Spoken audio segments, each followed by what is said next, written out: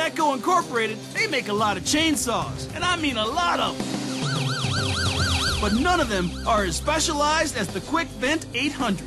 This is designed specifically for uh, firefighting. Firemen have to go on top of the building and cut vent holes in the roof to allow gases and heat to escape before they can, they can enter the house.